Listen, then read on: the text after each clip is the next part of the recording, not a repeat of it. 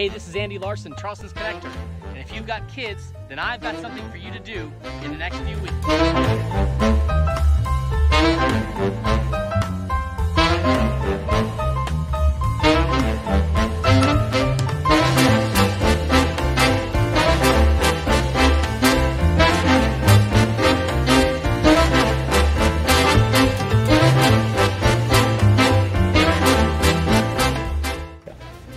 I'm Helen Legare Floyd. This is my niece Arab Anderson and my sister Linda Legare Berry.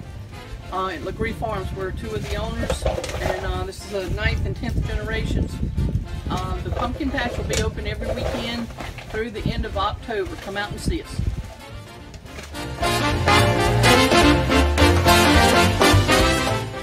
If you're not the kind of person who wants to pick a pumpkin, well, they've already got some picked for you.